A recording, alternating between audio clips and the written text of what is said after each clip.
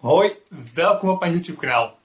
Dit is deel 2 van de video over het programmeren van Assembly om een programma te maken op de Commodore 64 om dit lichtkrantje een andere tekst te kunnen geven. Met behulp van deze cartridge. Die heeft een ESP32 en dus een Bluetooth interface. En eh, we gaan gauw verder waar we gebleven waren, want we hebben een hoop te doen. Ik heb ons project van vorige keer ingeladen en ik heb niks veranderd. Ik heb alleen de, het commentaar een beetje verbeterd.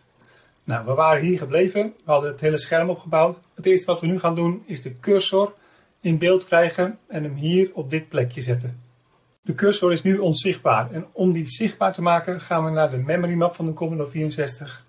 We gaan even zoeken op cursor. Want ergens op de first, op de zero page zullen we dat uh, terug kunnen vinden. En dan zien we hier bij CC eh, de cursor visibility switch. Als we 0 maken, dit adres, is de cursor zichtbaar en anders is de cursor onzichtbaar. Dus LDA 0, STA CC. Dat moet genoeg zijn. Kijk, cursor zichtbaar, alleen nog op de verkeerde plek. De positie van de cursor die stellen we in via een kernel routine.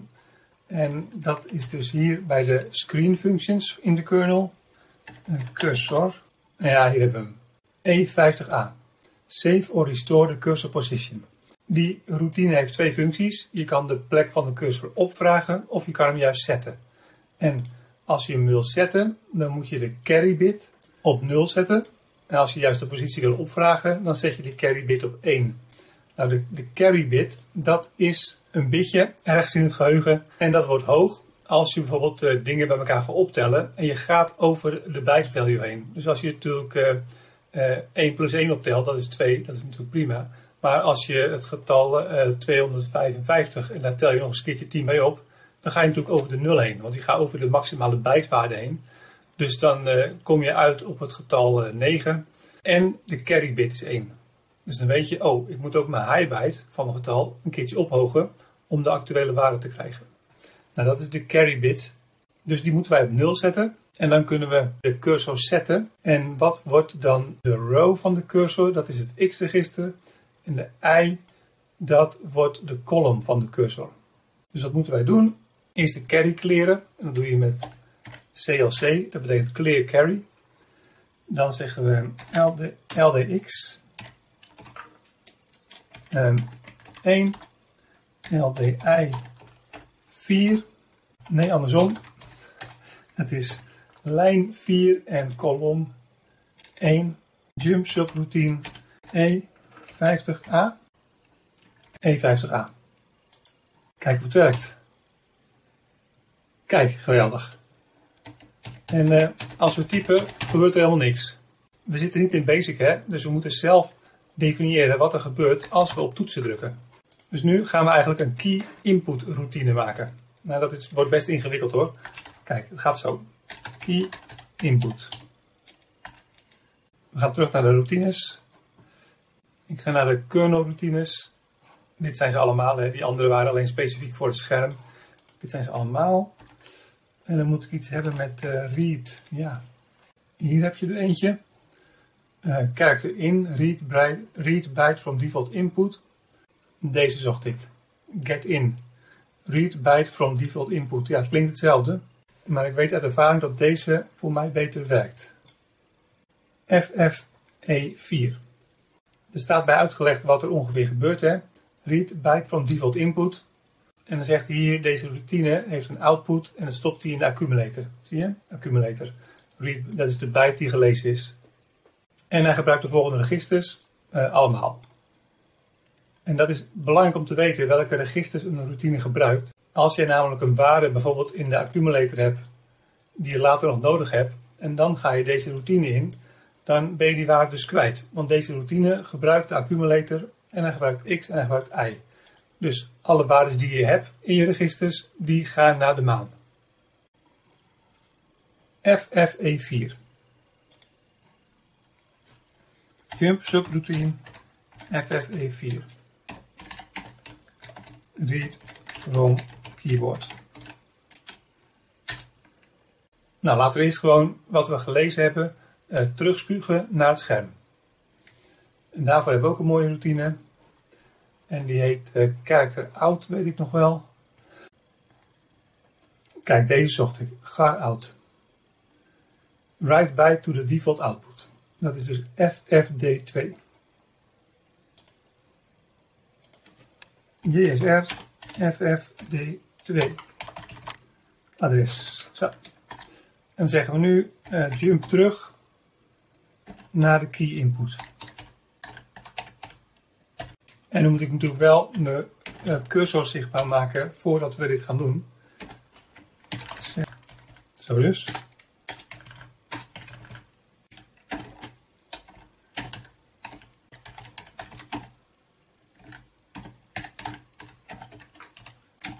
Zo, het komt daar een beetje aangepast.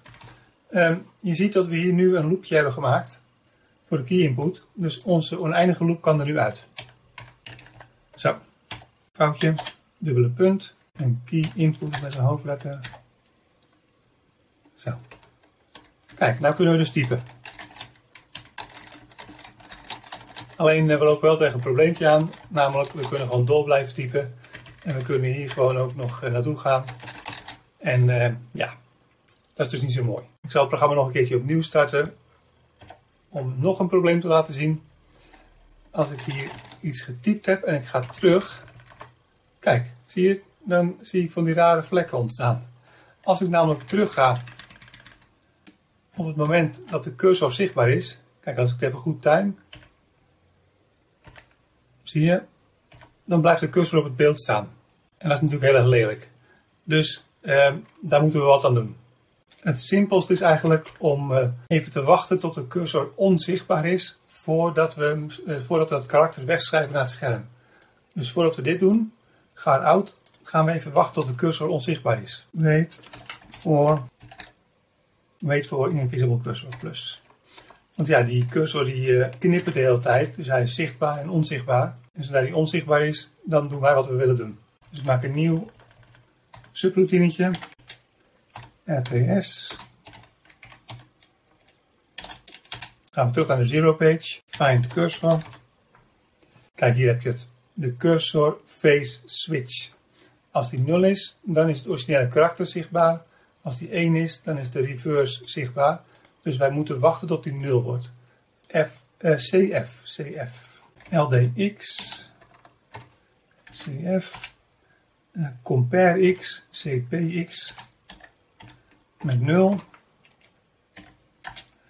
Als die uh, niet gelijk is, BNE, bronze not, not equal. Uh, nou, dan gaan we gewoon terug naar dit punt. En dan begint het spelletje weer opnieuw. Min. Werkt dat? Jump shot routine moet ik natuurlijk gebruiken. Zo. Nou, weer kijken of ik kan, uh, kan timen. Ja, zie je, nou is het opgelost. En nu merk je alleen wel een hele kleine vertraging bij het typen. En alle karakters komen wel, wel degelijk op het scherm. Alleen, er zit dus een kleine vertraging in. Daarvoor is niet een hele eenvoudige oplossing. Dus uh, hier heb ik gewoon vrede mee. Dat, dat, dat, ja, ik typ toch niet zo heel erg snel op de Commodore 64. Dus dit is op zich prima. Nou vraag je misschien nog af, waarom gebruik ik hier nou eh, LDX en niet LDA? Nou, dit zit in mijn loop. Kijk, dit zit hier in mijn text input loop, key input. Ik lees hier een uh, karakter vanaf het keyboard. Uh, dat wordt opgeslagen in de accumulator. Dus als ik dan in deze procedure LDA ga gebruiken, dan ben ik die waarde in mijn accumulator kwijt. En als ik dan dus terugkom uit deze procedure, dan is eh, de waarde 0 geworden. Dan is dus de accumulator ook 0. En dan schrijf ik hier 0 naar het scherm in plaats van het karakter wat ik hier heb ingelezen ja, soms moet je even in de gaten houden wat je aan het doen bent.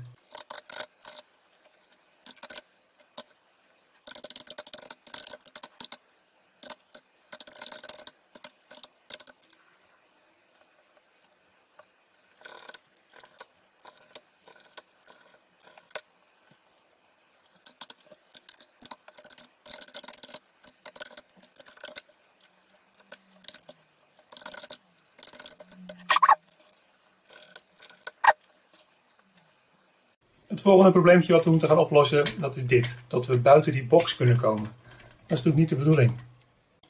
Ik ga hier weer een nieuwe subroutine maken. En die noemen we um, Stay Inside Box.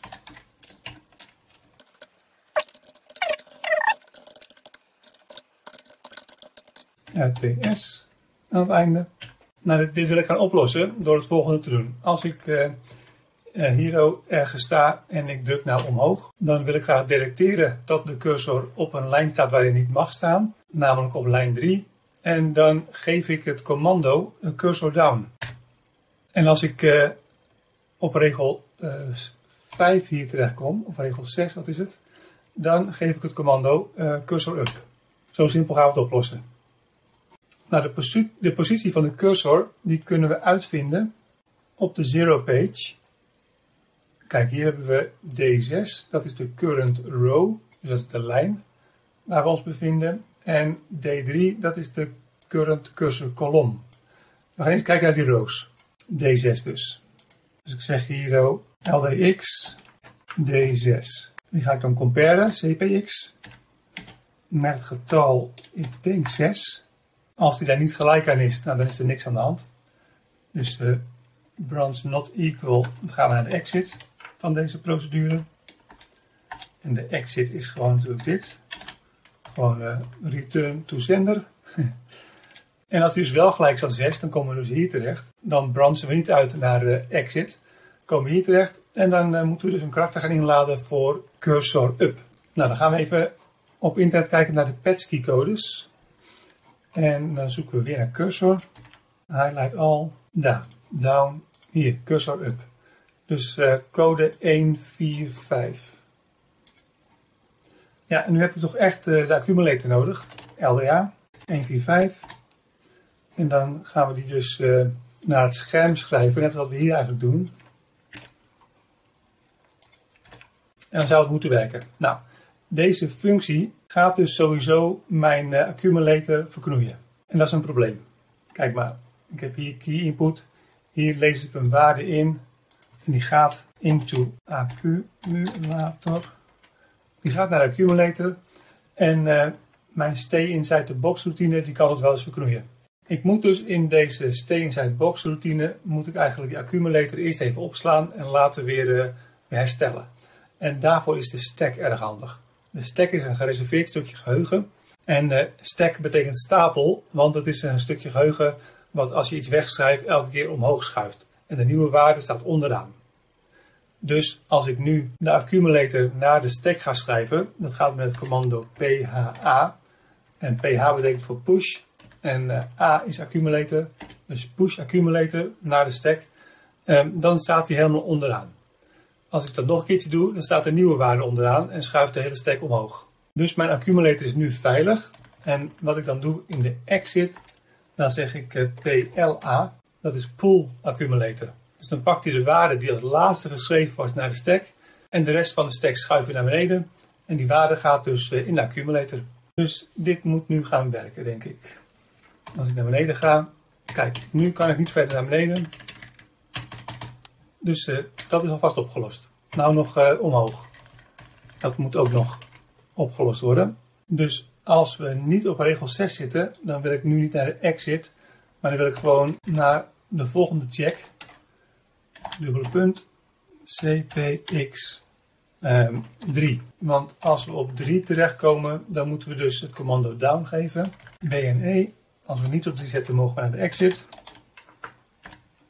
als we wel op 3 zitten, dan zeggen we LDA het commando voor down en dat schrijven we dan weg. Zo. Wat is het commando voor down? Cursor down is 17.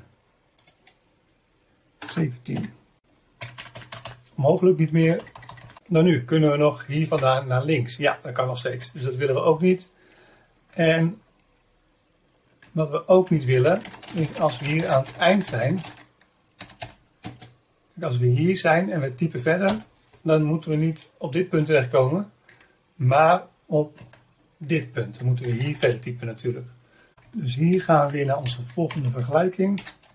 We gaan nu kijken in welke kolom we zitten. Dus we zeggen hier LDX, dat was D3. Dat is het adres op de zero page waar de kolom van de cursor staat. En even denken hoor, cpx, als die gelijk is aan 39, dan zitten we dus helemaal aan de rand. Dan zitten we op de rand van de box en dan mogen we dus niet komen. Dan uh, ja, moeten er eigenlijk twee verschillende dingen gebeuren. Namelijk als we in de eerste regel zitten, dan moeten we twee posities door, zodat we op het begin van de tweede regel zijn. Maar als we al op de tweede regel zitten, dan moeten we daar blijven staan. Dan mogen we eigenlijk niet uh, verder naar de derde regel, want die bestaat niet. Dus dat is weer even een ingewikkeld dingetje. Dus we kijken eerst, zitten we op die positie 39? Als dat niet zo is, dan is er niks aan de hand. Dan gaan we naar de exit. En als het wel zo is, dan komen we dus hier terecht. Dan gaan we kijken, zitten we nou op regel 4 of op regel 5? LDX D6. CPX, als dat dus 4 is. Nee, compare met 4. Als het er niet gelijk in is, dan is hij, dan is hij dus 5. Want uh, hij kan niet 6 worden, dat hebben we al opgelost. Hij is 4 of hij is 5. Dus als hij niet 4 is, dan uh, gaan we naar de volgende marker. Lijn is 5. En hier hebben we dus lijn is 4. Als we op 4 zitten, dan moeten we dus eigenlijk zeggen uh, cursor right 29. LDA 29. Dat voeren we twee keer uit. En dan kunnen we naar de exit. Jump, exit, plus. Als we op lijn 5 zitten en we komen op de rand van, de box, dan moeten we dus eigenlijk een stapje terug. Dus dan moeten we zeggen uh, cursor uh, left 157.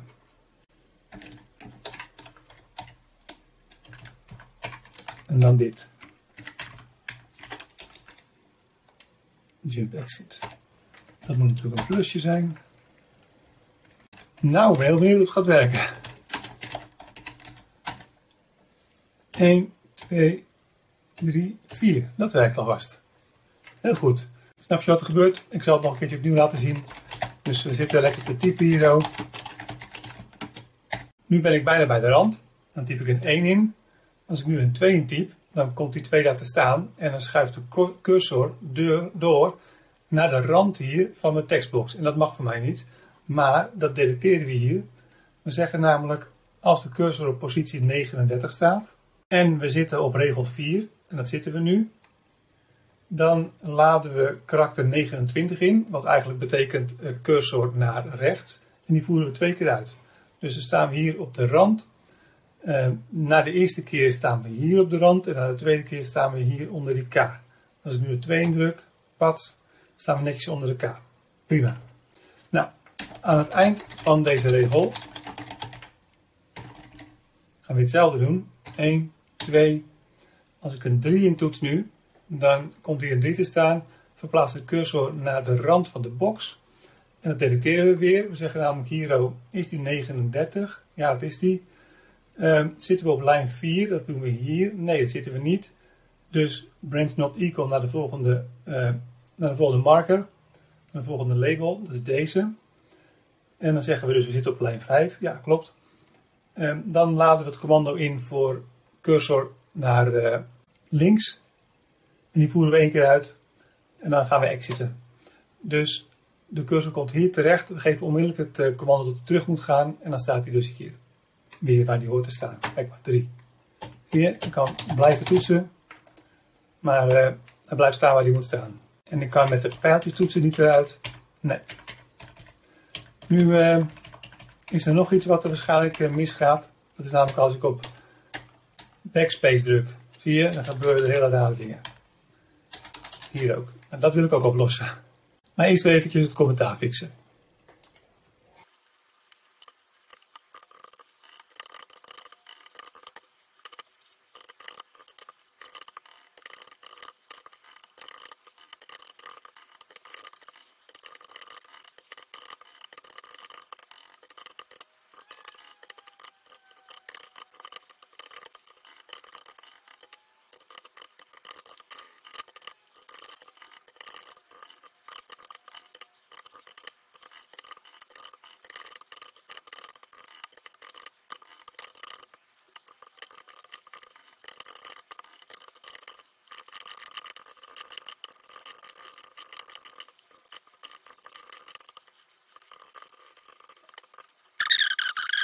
He, nou, ja, je moet wel een beetje de tijd nemen om het een beetje netjes te maken.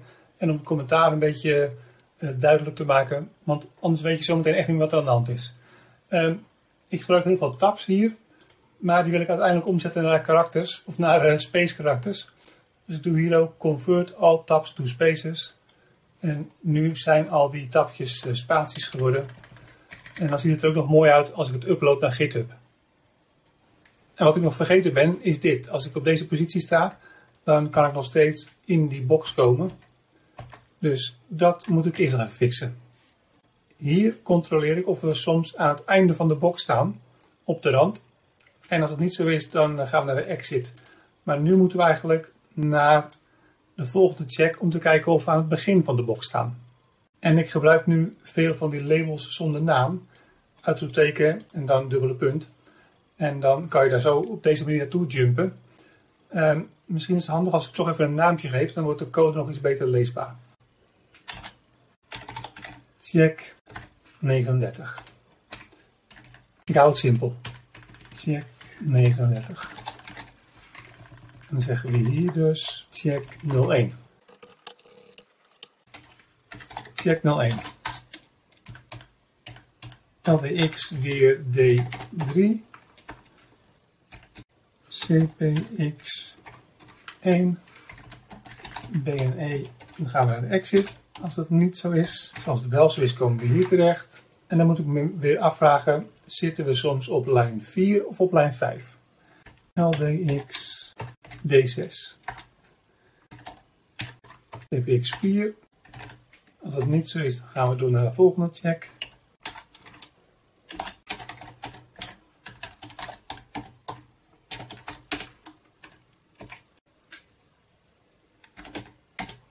Als ik op de eerste regel zit en ik ga in positie terug, zodat ik op de rand sta, dan moet ik dus de cursor weer één stapje naar rechts doen. Dus dat is code 29.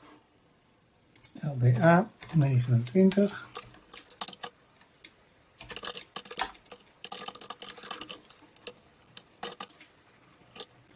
En als we op de vijfde regel eh, in de rand gaan staan, dan moeten we juist twee terug. Dus dan moeten we dit weer doen. Deze, dit is naar links.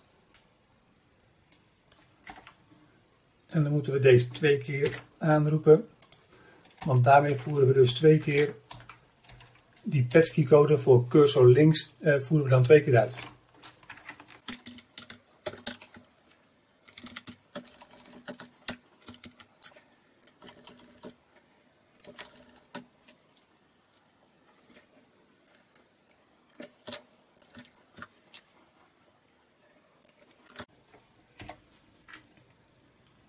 Kijk, gebeurt iets raars nou. Ik denk dat die, dit geen 1 moet zijn, maar 0. Denk ik. Ja, precies. Kijk, de eerste... Oh. De eerste positie op de regel is blijkbaar 0. Maar als ik nu opzij doe, dan gaat die eentje naar beneden. Wat is dat nou? Kijk, ik ben vergeten om hier te jumpen naar exit. Dus als ik dit heb uitgevoerd, die ene karakter naar rechts, gaat hij daarna vrolijk verder met dit. En dat zal wel het probleem zijn. Ja, nu gaat het goed. Heel goed. Mooi. Dan hebben we alleen nog dat dingetje, als ik op backspace doe, tot dan mijn achtste karakter hier, dat hij meegaat Zie je, dat is een beetje raar. Nou, dat ga ik oplossen door eigenlijk als je op uh, backspace drukt, dan dit te herstellen door hier gewoon een spatie neer te zetten en hier weer dat karakter wat eigenlijk daar hoort te staan. Dat doe ik dus hier op dit punt. Nadat we de karakters hebben weggeschreven. Dus uh, dat backspace is eigenlijk ook gewoon een karakter. Het is een pesky karakter. En als dat uitgevoerd is op dit punt, dan ga ik kijken, uh, hebben we zojuist backspace gedaan? Want dan moet ik wat fixen. Wat is delete backspace? Hier staat hier, delete heet hij, delete is nummertje 20. Dus ik zeg hier CMP, want met CMP ehm, compare je gewoon de accumulator. CMP20. BNE. Terug naar key input. En anders zeggen we dus nu jump subroutine. Fix backspace. We maken weer een nieuwe subroutine. En die heet fix backspace.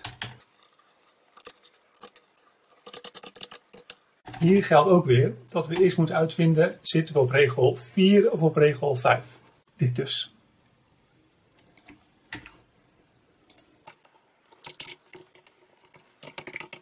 Line 4. En anders zitten we hier op line 5. Dan ga ik even kijken wat regel 4 ook weer was. Het is deze 0478, daar begint de box. Even kijken hoor. 0478, dat is regel 3. En dat tel ik eventjes uh, 40 bij op. Zitten we op regel 4. En het eind van regel 4 is uh, plus 39.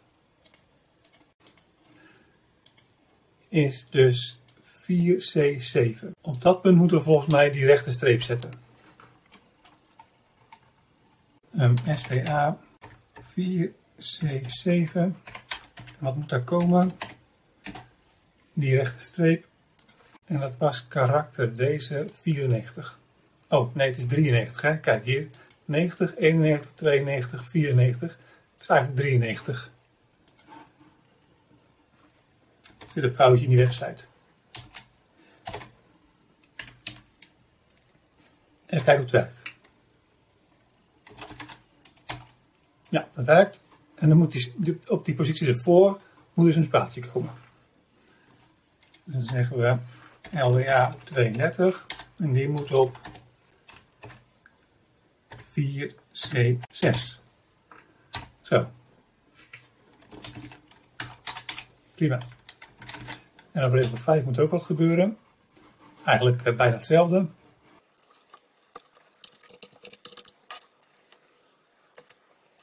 Als ik hier gewoon um, 28 hexadecimaal, dat is 40 decimaal, bij optel, dan zitten we dus op 4EF. Dus dat is deze. En eentje daarvoor is 4ED. Oh, ik, ik zit ook helemaal op de verkeerde plaats. Het moet natuurlijk wel hier, hè. Zo.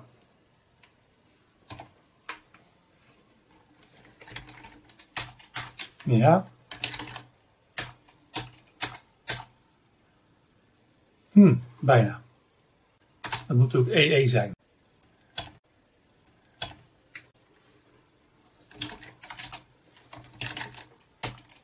Ja, goed. Oké, dus backspace lijkt nu te werken. Maar ik denk dat er twee dingen niet werken. Dat is namelijk als ik hier backspace doe. Kijk, de cursor gaat naar de goede plek. Alleen hier ontstaat ook een gat. En als ik helemaal aan het begin sta en ik doe backspace, dat, dat werkt ook, alleen dan ontstaat hier iets raars. Dus wat handig is om gewoon eh, deze twee posities ook even in te vullen met een rechte streep. Eigenlijk gewoon preventief. En ik zag nog een optimalisatie. Namelijk, ik kan net zo goed eventjes die eh, 93, die kan ik net zo goed hier weghalen. En even hier zetten. En dan kan deze ook weg. Dan doe ik deze gewoon zo. Zo.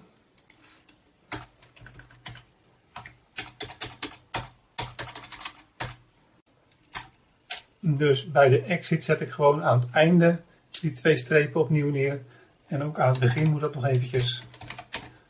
Maar wat was ook weer het adres?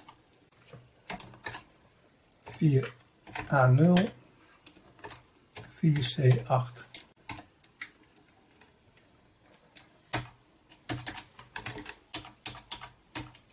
Perfect. En hier dan backspace. Kijk, kom ik daar terecht. Helemaal goed. Onze box is eindelijk waterdicht.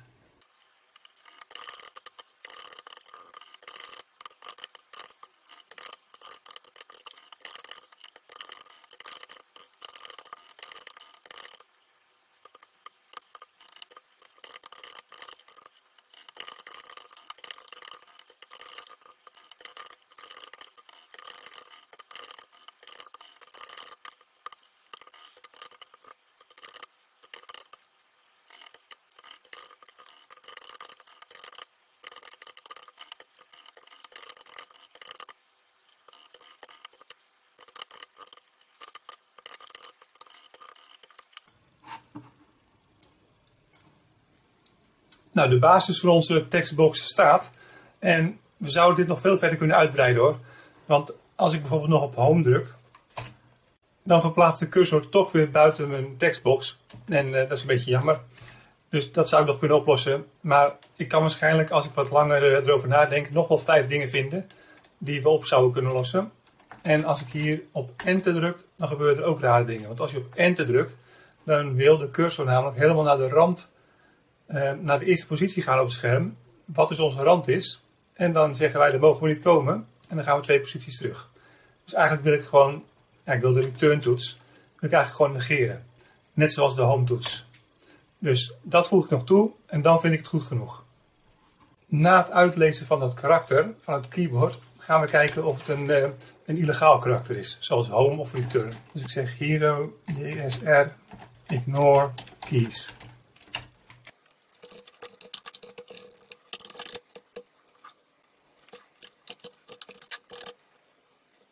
Als deze subroutine wordt aangeroepen, dan zit de keycode in de accumulator. Dus ik kan gewoon rechtstreeks zeggen cmp van compare. En dan zeg ik, is het soms, ik denk dat 13 return is, is het soms return. Even kijken, ja, 13 is return. En wat is home? Home, hier zien we hem. 19. Nou, misschien moeten we dan toch ook nog eventjes uh, shift return meepakken. Dat is 141. 13, 19 en 141. CMP 19, CMP 141. Nou, weer dezelfde truc hè. Als het niet gelijk is, gaan we door naar de volgende label. En dat is dus dit ding. Dit is de volgende label. Als het daar niet gelijk aan is, gaan we ook door naar de volgende label. En dat is dus deze. Dit is onze exit. Dus als het 13 is, ik denk dat we gewoon dan um, dat karakter in de accumulator kunnen vervangen voor 0. Dus zeggen we gewoon LDA 0 en dan jump exit. Nou, dat geldt eigenlijk voor alles.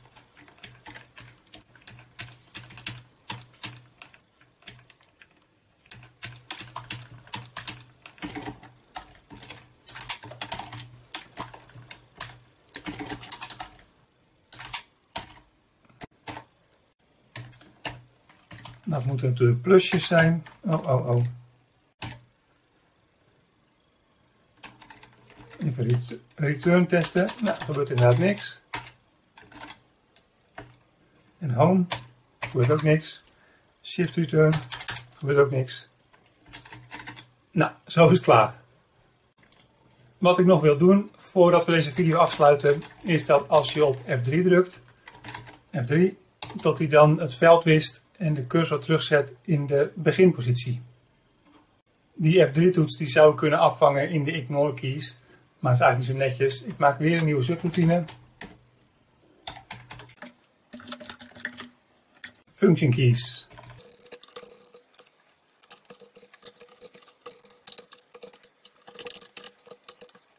Wat is de PETSCI code voor F3? Hier zien we hem, dat is 134. CMP 134. Als het niet gelijk is, gaan we naar de exit van deze functie.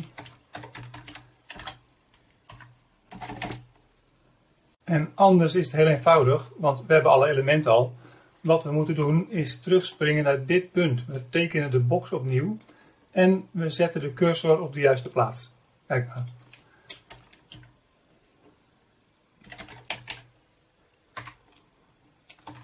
Kijk, als ik even zeg uh, clean box, maak hier een label aan clean box.